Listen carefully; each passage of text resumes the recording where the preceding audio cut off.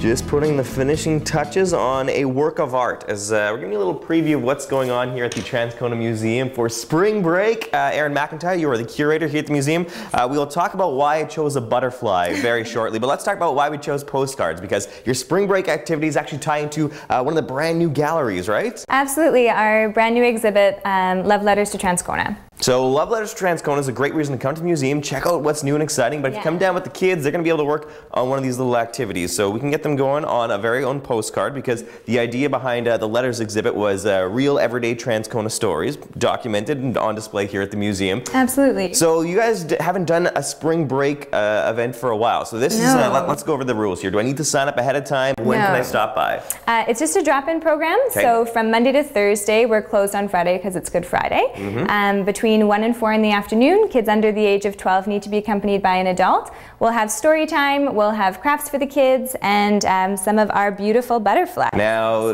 not to be confused with my postcard because you mentioned beautiful butterflies, but uh, let's talk a little bit about this. Where did you guys acquire these from?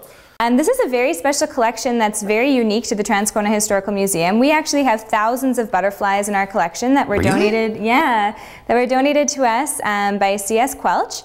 And these are just some of my favorites that I pulled. Those are actually moths on the left if we're going to get technical. Oh, whoa, okay, but good. We don't want to get angry emails from the No, who no, are watching exactly, the show. Uh, yeah. That's pretty awesome. Now, I'm guessing these were not found uh, in Transcona because they look uh, pretty exotic. exotic. There's a mix actually. Some of them are from Manitoba, but some Oh, of them are from all over the world. Yeah. Whoa, so that's the question. You come to the museum while the kids are working on the craft, you can look and ponder and try to figure out uh, which ones are the local ones and which are the out of town visitors. So, uh, a really fun activity for uh, the kids be working on. And then uh, while the kids are uh, working on this, maybe the parents can tour around and uh, check out the, uh, the new galleries. Absolutely. A lot of good things going on here at the Transcona Museum as uh, three galleries have been revamped. Now, if you want to come and check out uh, the revamped galleries, when are we able to do this? So you guys have been closed for uh, about a month getting things ready. So now Yeah. it's the grand opening. When can we Grand see the hard work? Uh, we open on Friday, March the 22nd, and our regular operating hours are Tuesday to Saturday from 9 a.m. to 4 p.m. Perfect. If you need more information, just go to our website at breakfasttelevision.ca. Take a quick break here on BT. And more to come later today on City.